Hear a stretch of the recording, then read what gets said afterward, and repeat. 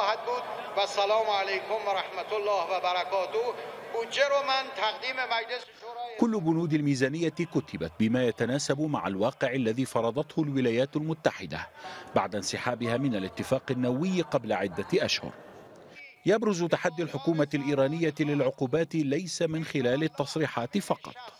بل يتجلى أيضا في الإجراءات العملية والتدابير المتخذة ضمن خطة شاملة ستؤدي إلى إفشال العقوبات كما يتحدث الرئيس روحاني بكل ثقة. الهدف الرئيسي لأمريكا من المؤامرات والعقوبات هو الضغط على الشعب مباشرة لكن هذه العقوبات ستفشل في النهاية وقد نظمنا ميزانية العام المقبل بالتناسب مع العقوبات.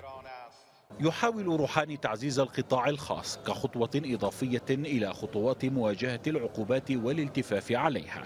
كما يحاول تخفيض الاعتماد على الإيرادات النفطية ومشتقات النفط في الميزانية وزيادة 20% على رواتب الموظفين. لكن هذا كله لن يبعد الانتقادات عن الحكومة التي يبدو أنها ستكون قاسية بعد خفض الميزانية الدفاعية على نحو كبير. لا يمكن أن تمر الميزانية من دون انتقادات إذ يجب خفض الاعتماد على النفط أكثر. كما أن زيادة رواتب الموظفين ستزيد الضرائب. وهناك نقطة أخرى تتعلق بجدلية أخرى فيما يخص الميزانية الدفاعية المخفضة.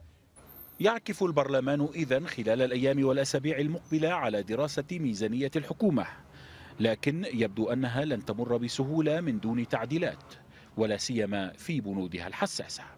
تحاول الحكومة جاهدة مواجهة العقوبات الاقتصادية وتخفيض النفقات وهي خطوة مهمة برأي البعض لكن ينبغي ألا تكون على حساب قطاعات لا يمكن إغفالها في زمن التهديدات العسكرية يقول آخرون. من الحمرية طهران الميادين.